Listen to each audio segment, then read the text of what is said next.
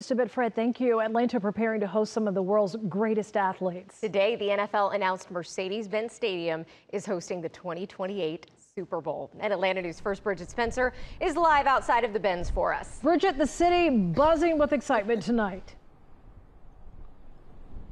That's right. Elated is the word that I've been hearing all day since this announcement came in. Now, people in Atlanta are excited to show the entire world what the city has to offer.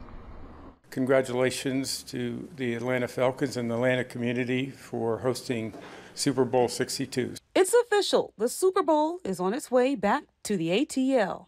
They have been known on a global basis as the city that can make things happen. Turns out not only does the NFL love Atlanta, they love the Mercedes Benz Stadium also. The technology, the comfort for fans, the experience that you get when you come to that stadium is really extraordinary. Atlanta hosted the big game in 1994, 2000, and then again in 2019. According to Atlanta Falcons owner Arthur Blank, fans loved the Benz. Mercedes-Benz Stadium was really built uh, to accommodate um, events of this magnitude. And fans around Atlanta are excited about the news, like Shaquille Charles, who grew up in the metro. I feel like this is going to bring so much like revenue to Atlanta, it's, and it's going to help boost the economy, essentially, or the economy of Atlanta, essentially, because it's bringing you know more tourists, so more different job opportunities. It'll be good for the city, bring more revenue along with FIFA World Cup and everything I hear that's coming too. That's right. A lot of eyes have been on Atlanta.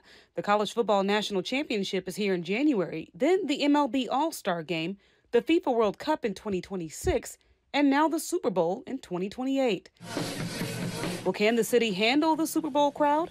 Mayor Andre Dickens says downtown is already in the midst of some changes. We have to continue to invest in our infrastructure. We're challenging all our partners, whether that's MARTA or anybody else, to continue to step their game up because visitors and businesses and residents all depend on them.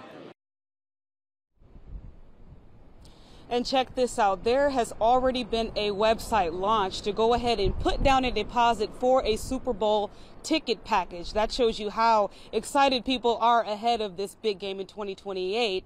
And of course, the biggest dream for Atlanta fans would be for the Atlanta Falcons to be playing in that 2028 Super Bowl. That's something I've been hearing all day today.